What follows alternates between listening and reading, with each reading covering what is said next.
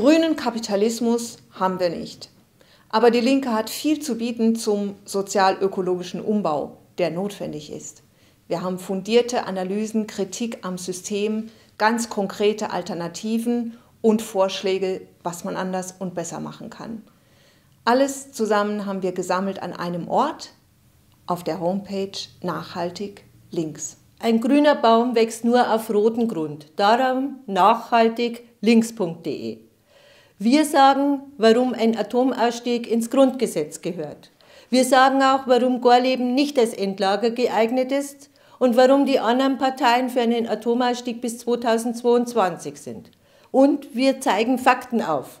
Wir sagen, wer die Drecksarbeit macht in den AKWs, nämlich die Leiharbeiter. Nachhaltig Links ist ein neues Projekt.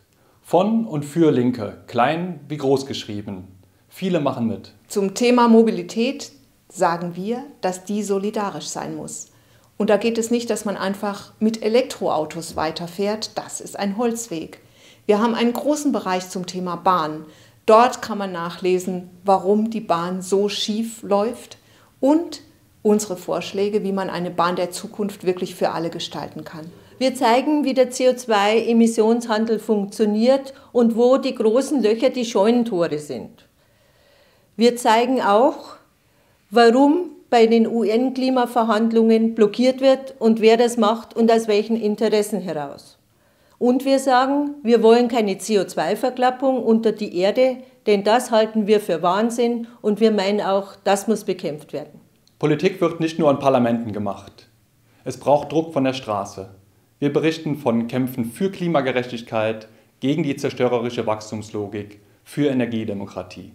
Nachhaltig links bewegt.